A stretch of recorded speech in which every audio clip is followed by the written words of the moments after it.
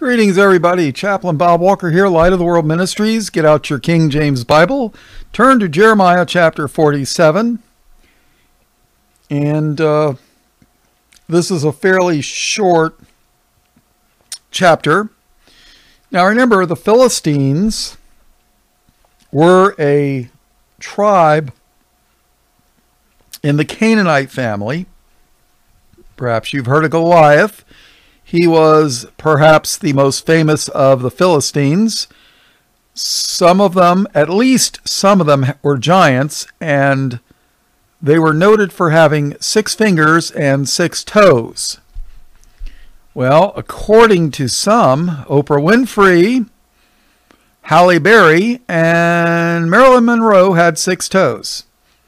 Matter of fact, there's been a TV show on about the foot doctor or something. I don't remember what channel it's on. But uh, that doctor was uh, surgically removing six a six toe on some people. I don't know how true it is, but uh, I actually worked with a girl that said she had six toes. I wonder. Hmm. So, Jeremiah 47, verse 1. The word of the Lord, the word of the Lord that came to Jeremiah the prophet against the Philistines before that Pharaoh smote Gaza. Thus saith the Lord Behold, waters rise up out of the north and shall be an overflowing flood. You know, a flood of soldiers, right? And shall overflow the land and all that is therein, the city and them that dwell therein. Then the men shall cry, and all the inhabitants of the land shall howl.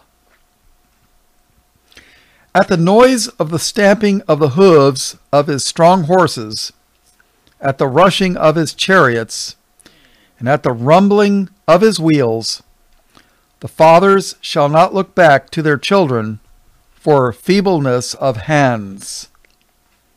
Because of the day that cometh to spoil all the Philistines, and to cut off from Tyrus and Zidon every helper that remaineth. For the Lord will spoil the Philistines, the remnant of the country of Caphtor. Baldness is come upon Gaza. Ashkelon is cut off with the remnant of their valley. How long wilt thou cut thyself? Well, cutting themselves in a previous Jeremiah study, I mentioned where the prophets of Baal were cutting themselves and all the blood was gushing out. You know, you hear people cutting themselves. That's a satanic type thing. So, how long wilt thou cut thyself? Verse 6 O thou sword of the Lord, how long will it be ere thou be quiet? Put up thyself into thy scabbard, rest, and be still. How can it be quiet? Seeing the Lord hath given it a charge against Ashkelon and against the seashore, there hath he appointed it. So Ashkelon is associated with uh, the Philistines.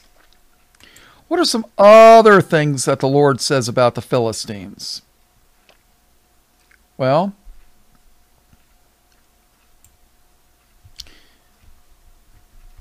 How about Amos, the book of Amos, one of the minor prophets, minor in size, not minor in importance. Amos 1 and verse 8 And I will cut off the inhabitant from Ashdod, and him that holdeth the scepter from Ashkelon, and I will turn mine hand against Ekron, and the remnant of the Philistines shall perish, saith the Lord and the remnant of the Philistines shall perish, saith the Lord. Doesn't sound like the Lord likes the Philistines very much. What do you say?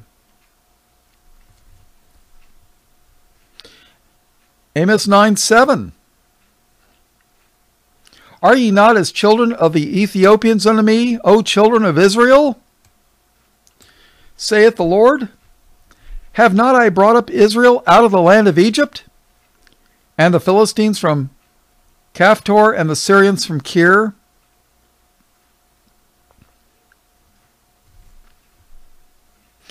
How about Zephaniah 2 5? Woe unto the inhabitants of the sea coast, the nation of the Cherethites. The word of the Lord is against you, O Canaan, O Canaan, the land of the Philistines. I will even destroy thee, that there shall be no inhabitant. Zechariah 9 6. And a bastard shall dwell in Ashdod, and I will cut off the pride of the Philistines.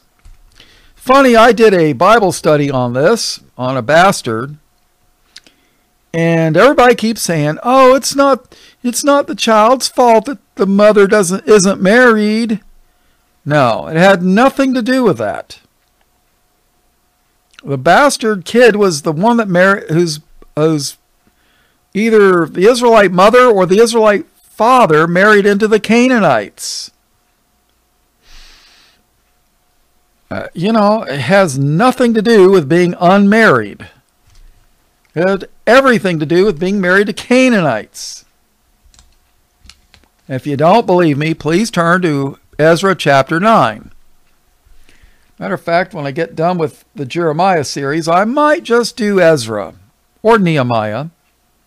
But in Ezra 9,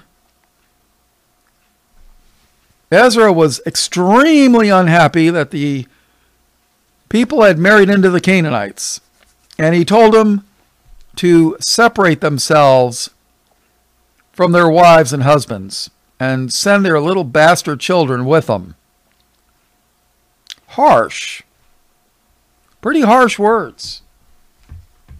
But Chaplain Bob, now that Jesus came, Jesus changes everything and now he loves them. Well, you can believe that if you want to, but I know better.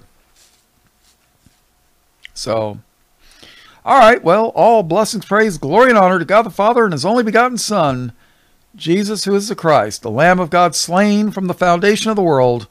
All blessings, praise, glory, and honor in Jesus' name.